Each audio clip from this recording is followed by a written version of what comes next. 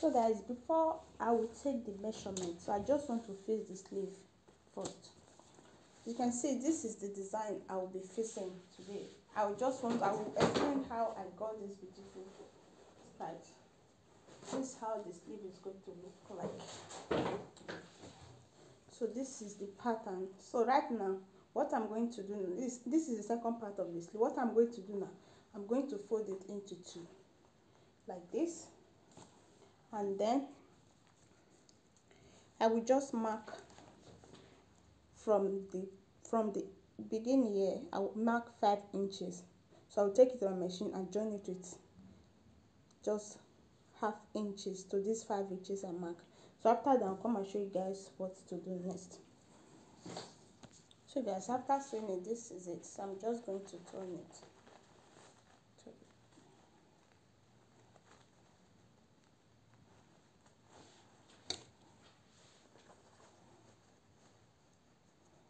so although this fabric is a very stretch material so i add gumstars inside. So you can see i have gun gumstar inside. So after then so that it will be able to stand. So this is it.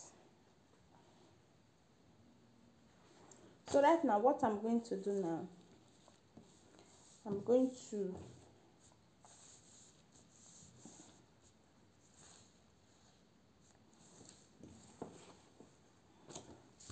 so guys right now what i'm going to do now i'm going to fix it with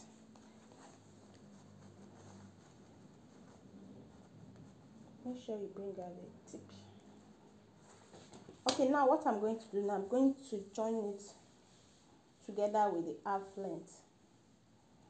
Just going to join it.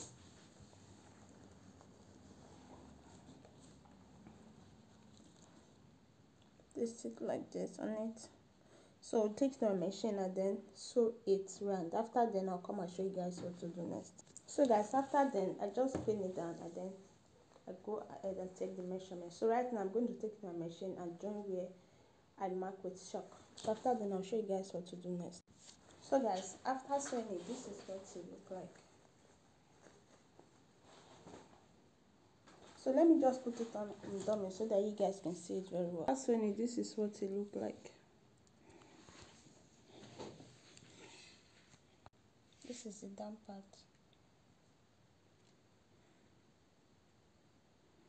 Please guys if this is your first time of visiting my channel. Don't forget to press the red subscription button so that when i upload a new video you will be the first to see it. See you guys in my next video. Bye